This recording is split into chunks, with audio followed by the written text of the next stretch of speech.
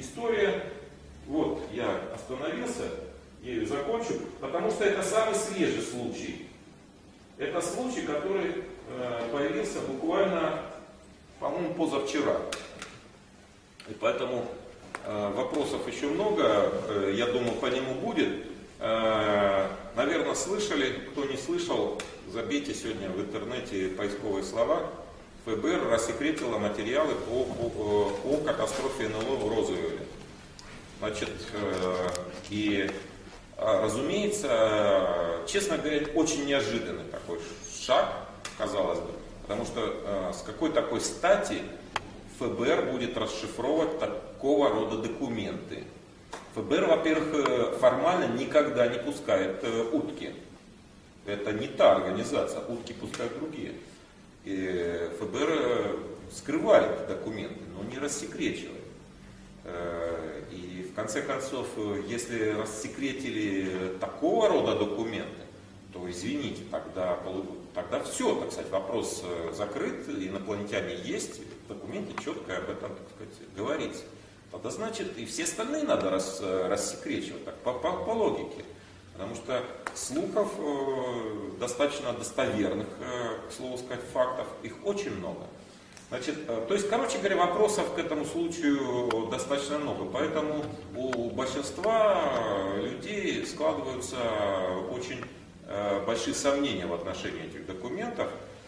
И они могут оправдаться, эти сомнения, потому что иногда подбрасывают документы, якобы рассекречивают, а через некоторое время намеренно, э, это делается намеренно, если документы подделка.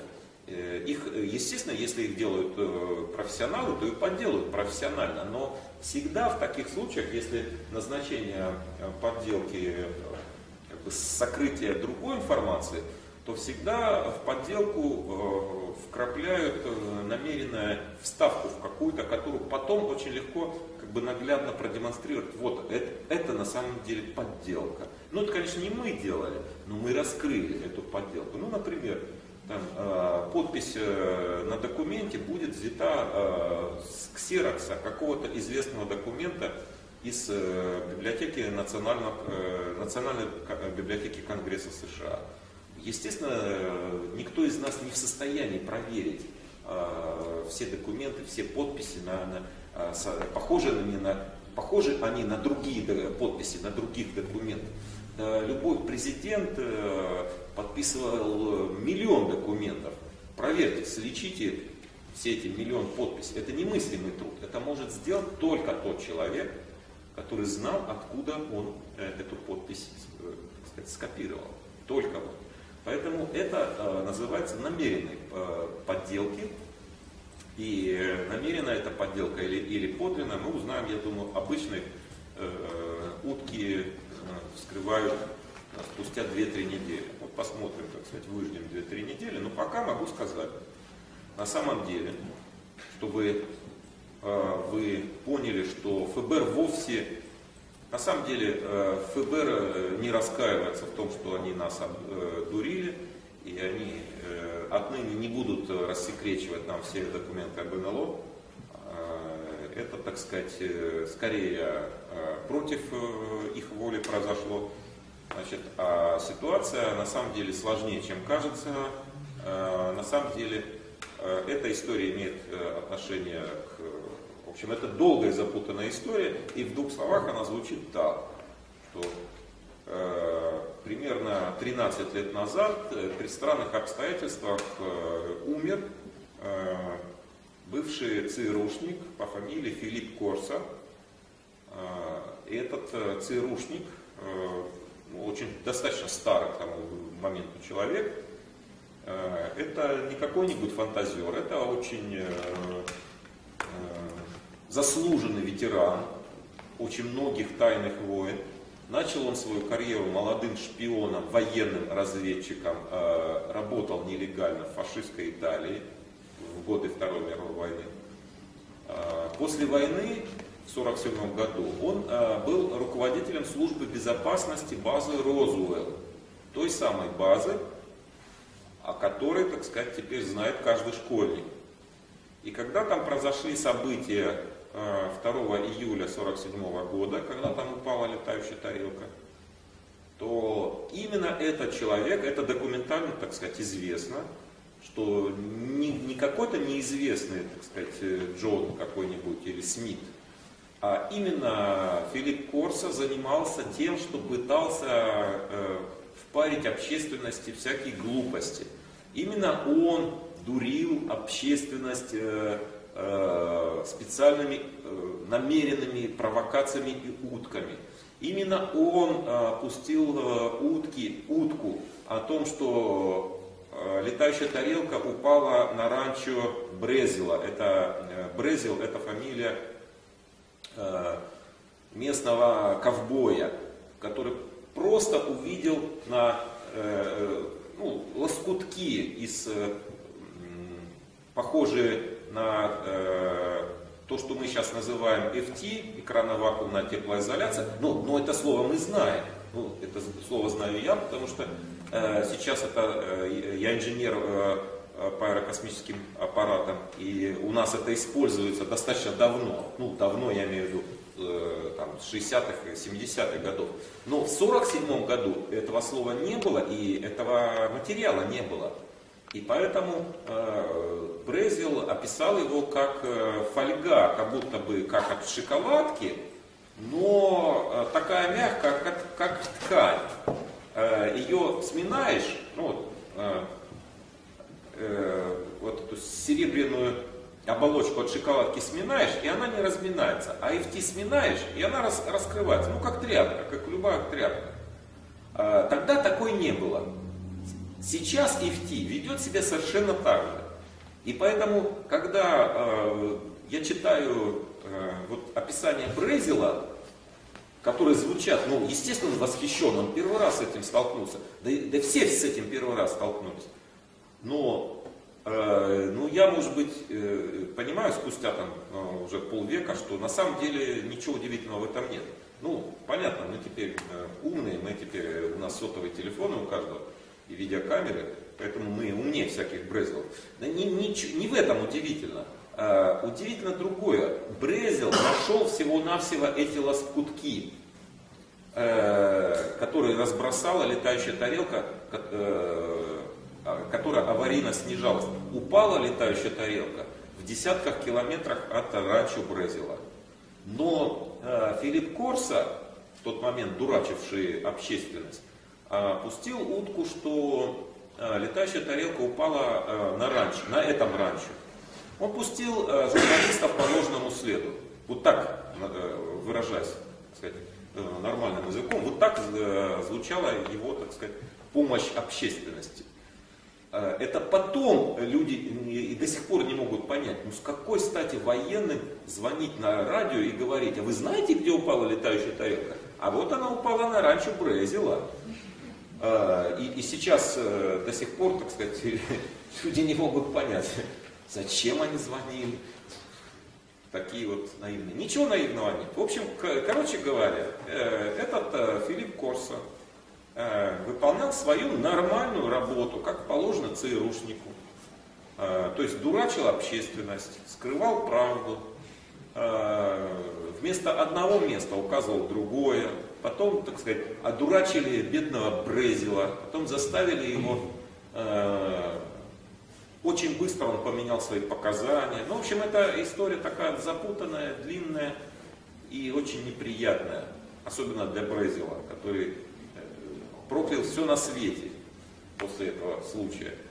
Его сделали дураком, и, э, в общем, он поклялся больше ничего никогда не связываться с войной.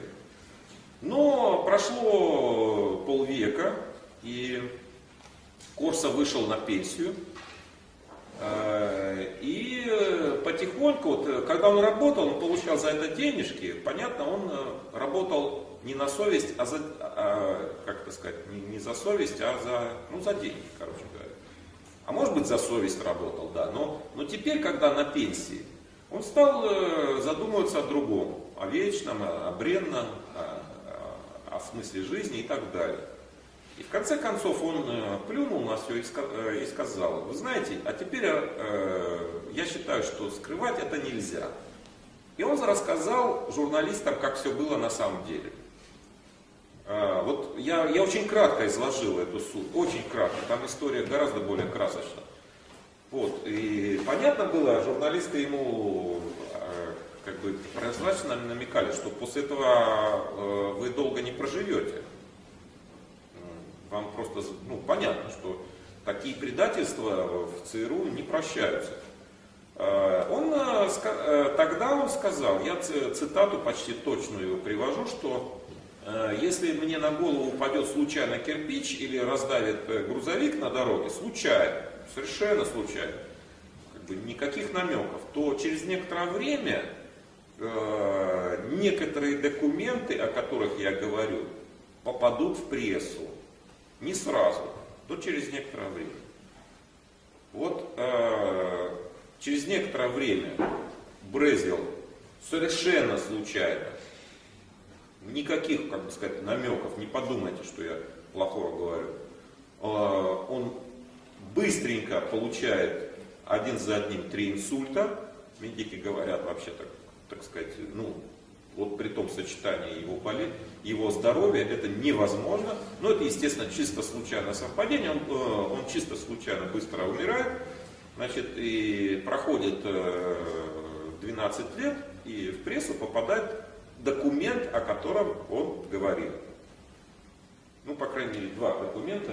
А, вот э, я их показываю, краткое содержание которых там четко, черным по белому, значит, э, как один агент э, ФБР докладывает о том, как были найдены погибшие пилоты летающей тарелки. Он описывает их как 90-сантиметровых существ. А, тут, так сказать, четко, еще раз подчеркиваю, черное по белому. При этом этот документ появляется почему-то на официальном сайте ФБР. То есть это не, не как сказать, э, это не доморощенный документ, это официально. То есть, короче говоря, вот это очень запутанная, очень сильно э, интересная, интригующая история, которая началась позавчера, на самом деле это, вот то, что я рассказал, это очень краткое ее описание, но я это рассказал для того, чтобы было понятно, что, э, что все гораздо сложнее, чем, чем журналисты нам э, преподносят. Я понимаю, у журналистов такая работа, им нужно за две минуты объяснить то, что я вам рассказывал три часа. И поэтому они идут по пути наименьшего сопротивления, и они говорят, что все дураки. И, на это, и, и, и главное, что все довольны, потому что все согласны с этим. Уфологи дураки, а э, ФБРовцы всех э, э, обманули. Ну и как бы, вот все на самом деле гораздо сложнее, и как бы, запаситесь терпением, я думаю, через некоторое время мы узнаем, но в любом случае это не просто, так сказать, случайность. Э, я думаю, это подвиг одного конкретно, одного взят, а, отдельно взятого э, человека, который, и поверьте, так сказать, э, таких людей, в общем-то, не единицы, но вот в данном случае это, это его заслуга. То есть это не утка вот в, в таком простом понимании. Это ее происхождение не случайно. Вот что я хотел сказать. Сколько у нас минут? Девять э, Медведевская гряда в двух словах. Можно по данной теме вопрос. Фотографии, которые широко распространены, инопланетян, которые препарируют, да, несколько фотографий, тех видов. Вот. Их достоверность.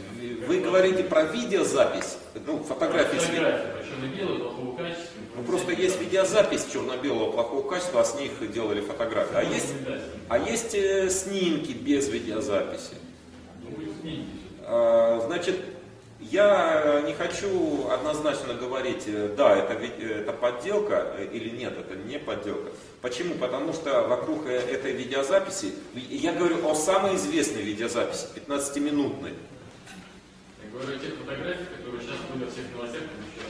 Эти фотографии сделаны с той 15-минутной видеозаписи. Поэтому э, фотографии это вторичные, первично та видеозапись. Вот споры идут а, по поводу той видеозаписи. А, могу сказать, я слышал авторитетные, авторитетные мнения за и авторитетные мнения против. А, честно говоря, мое такое личное мнение, а, вот чаша доверия больше перевешивает в пользу тех, кто за. Потому что их доводы сильнее.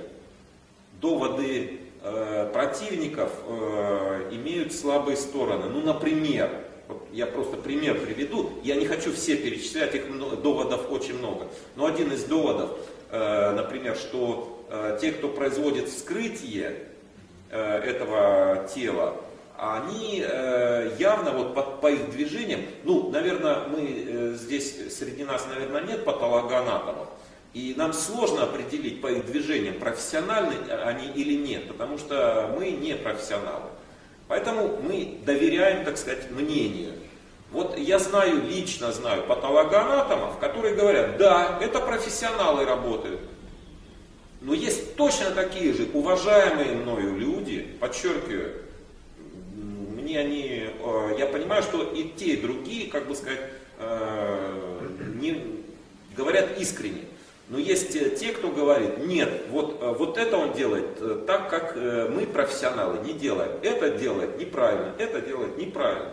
Это довод против. Но вот этот довод, мне кажется, слабее, потому что на самом деле по практике секретных операций мы прекрасно знаем, что когда речь заходит о вскрытии какого-то необычного объекта, то есть не простого трупа, которые проходят через э, руки патологоанатома каждый день. Извините, он столько скрывает, сколько мы пельменей за жизнь не съедаем. И, э, но когда речь идет о не просто очередном трупе, а о таком экземпляре, то, выби, э, то не факт, что выберут профессионального э, патологоанатома. Скорее, из соображений э, безопасности – выберут э, любого э, медика или даже фельдшера, или даже э, зоотехника, но такого, у, э, у которого будут погоны, то есть э, которого можно, так сказать, э, заткнуть ему рот точно. А вот приглашать профессора со стороны, ни, э, профессионала, никто никогда не будет. Поэтому это нормальная практика для вот подобного рода вещей. Поэтому я пока не хочу ни на чью сторону вставать, но скорее вот мое, мои симпатии, что ли, или скорее вот чаша доверия на стороне сторонников.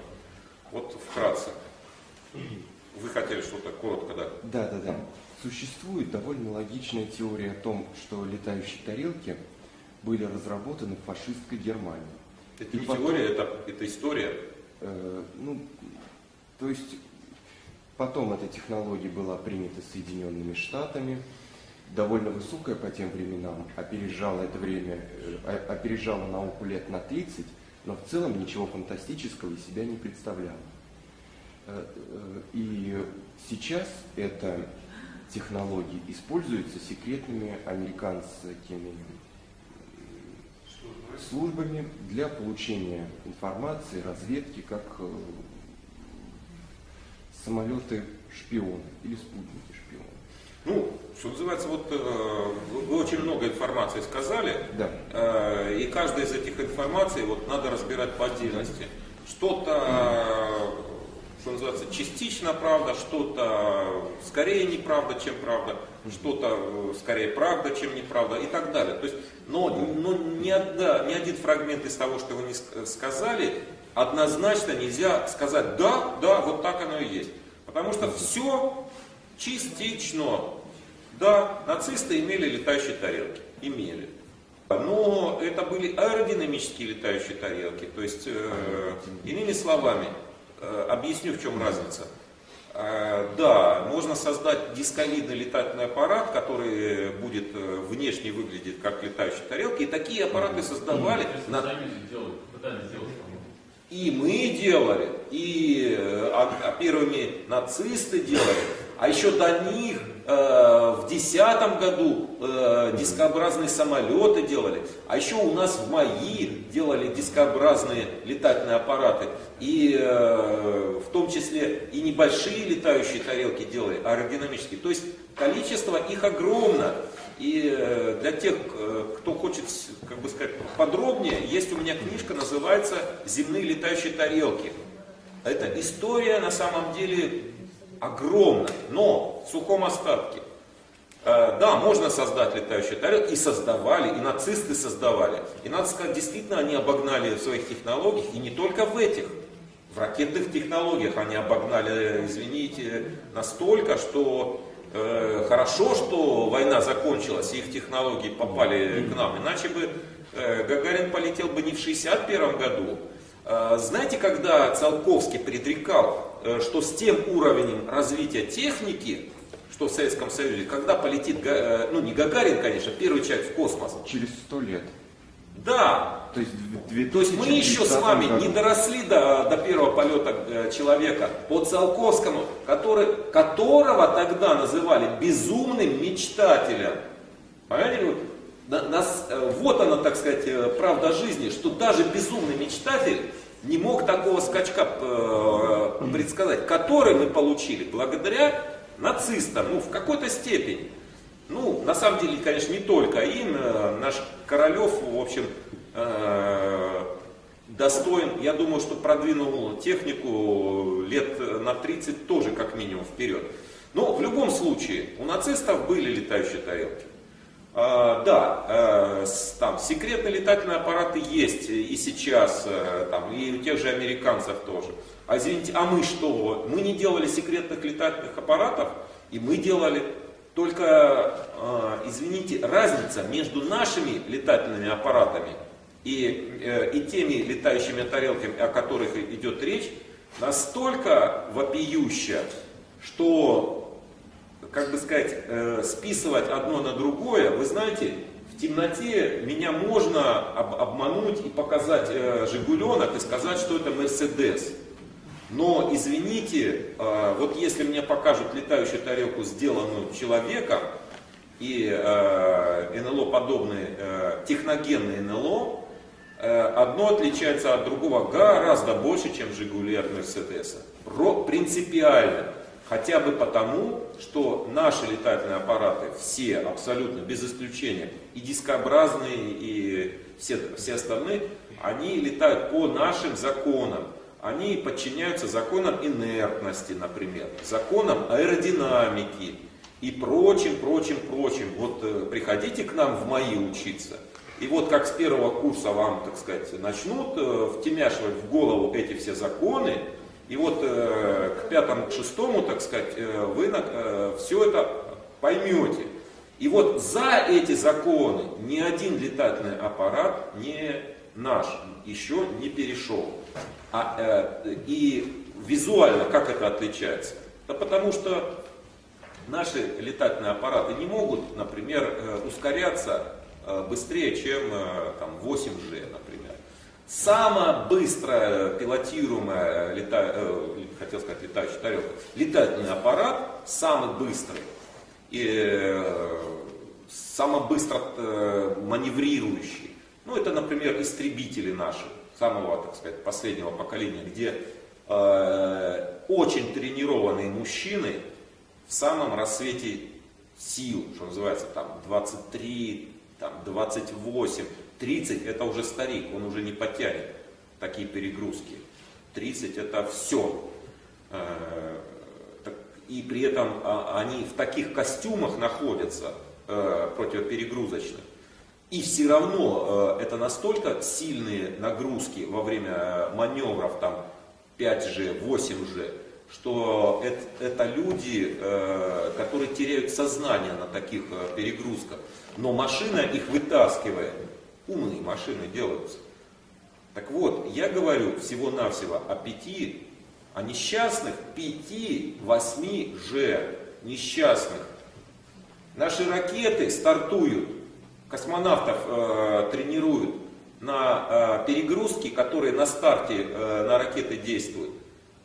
4, 5 же максимум. В среднем шаттл взлетает, там перегрузки 2-3G. Это детские, так сказать, шалости. Это вы можете на, в аттракционе ну, я не знаю, там наверняка в Твери есть какой-нибудь аттракцион, где вот так вот вращают по-быстрому. Там тоже 2-3G вы можете получить, э, так сказать, играючи.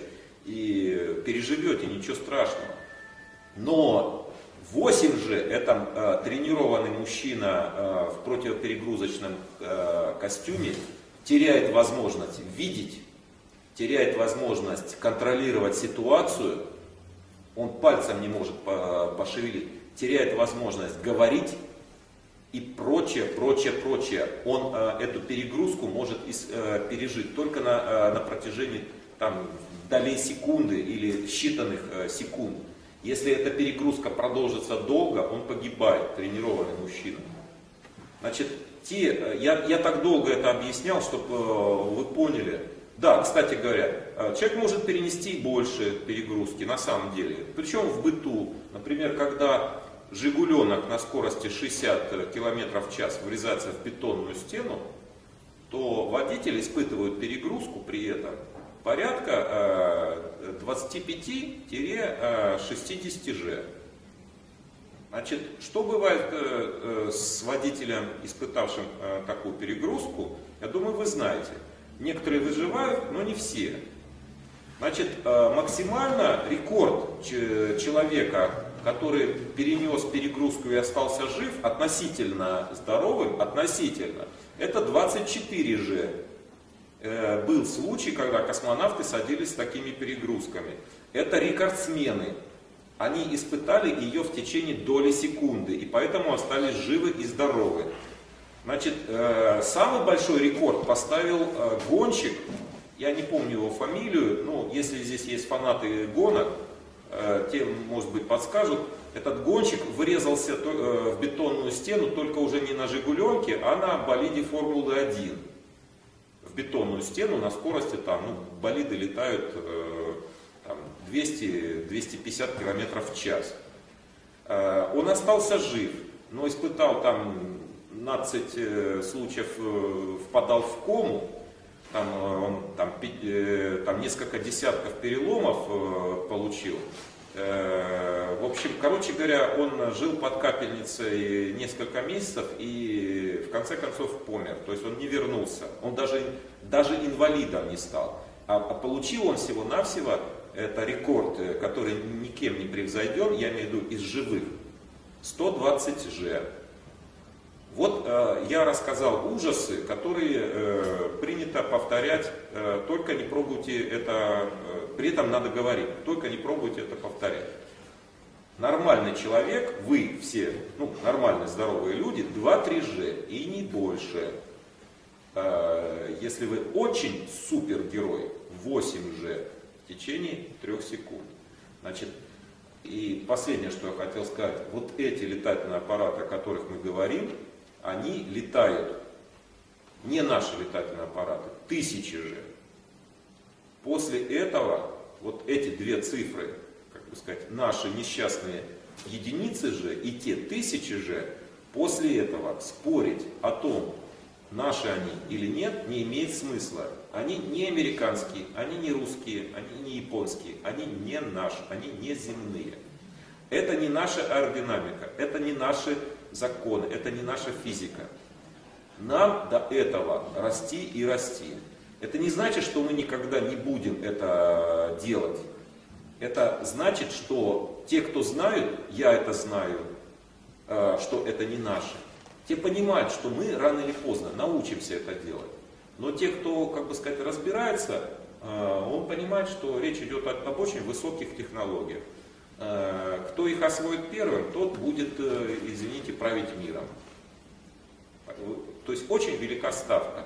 Поэтому не удивляйтесь, что э, умные страны на работу в области уфологии вкладывают огромные деньги. Это, так сказать, мы работаем в нашей стране. Ну, ну я же говорил об умных странах, поэтому я не, не имел в виду Э, те страны, где этим занимаются энтузиасты, я имел в виду там, э, те страны, где этим занимаются хорошо оплачиваемые государственные лаборатории. Вот они как раз работают на очень высоком уровне, и помимо того, что они этому уделяют внимание, вот эти раскрытия технологий, они еще занимаются и многим другим. А чем вы спросите? А тем, что создают для нас с вами огромное количество дезинформации. Вот тех уток, о которых я говорил. Для того, чтобы мы э, хихоньками, хахоньками занимались, для того, чтобы наши замечательные правдивые э, телеканалы нам в очередной раз рассказывали байку, что только сумасшедшие интересуются этой темой. А настоящие серьезные ученые, конечно, знают, что этого быть не может. Вот э, вкратце, так сказать, э, ситуация в мире. Нравится она вам, не нравится, мне она не нравится. Но, что называется, э, от, от этого, так сказать, от того, что она мне не нравится, она не становится пока другой. Ну, к слову сказать, последнюю фразу, которую э, молодой человек сказал, и я прокомментирую еще, я не могу не прокомментировать, поскольку я, э, фраза очень серьезна по поводу того, что они э, используют вот из... эти вот э, летающие тарелки для разведывательной деятельности. Ну, э, вот да, вы сказали так, но э, я немножко по-другому скажу. Да, они не могут, конечно, использовать именно эти летающие тарелки, извините, еще слабоваты в коленках для этого, но э, видимо создать. Ведь сами понимаете, обыватели, э, обыватели, чтобы обыватель принял летательный аппарат за летающую тарелку, это достаточно несложно. Э, театральное действие, ну если, извините, китайский э, фонарик стоимостью 100 рублей может э, э, там, тысячи людей привести в замешательство, Э, то более дорогие штучки могут привести в замешательство уже даже профессионалов. Поэтому все возможно, технологии возможны.